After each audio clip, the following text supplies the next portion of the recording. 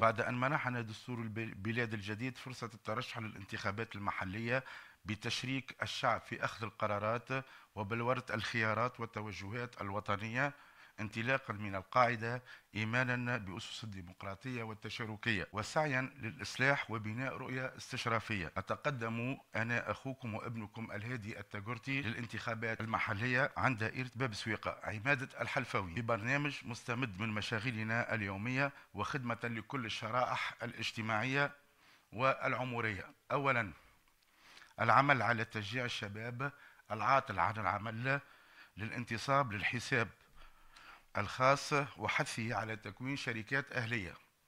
ثانيا السعي مع الجهات المختصة من أجل نظافة الدائرة وصيانة قنوات الصرف الصحي وتفادي مظاهر تكديس الأوساخ. ثالثا النظر في صيانة سوق الحلفاوين وتنظيمه حتى يتحول إلى سوق عصري.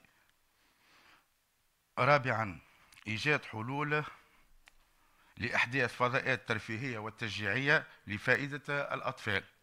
خامسا العمل على معالجة ظاهرة المتشردين في شوارع الدائرة وفقد السند.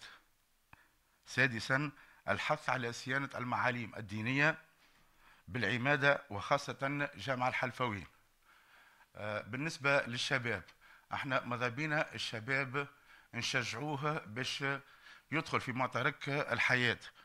ويكون فاعل في المجتمع خاصة من ناحية إيجاد حلول ليه باش نجموا نعاونوه. الشباب هذايا اللي هو قاعد ماشي في ثنية نحن نقولوا ماهيش صحيحة.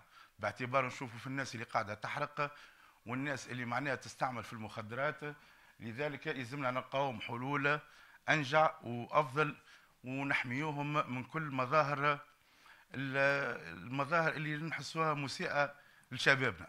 في الختام جميعنا يتطلع إلى بناء تونس جديدة من أجل مستقبل أفضل لجميع أبنائنا. وشكرا.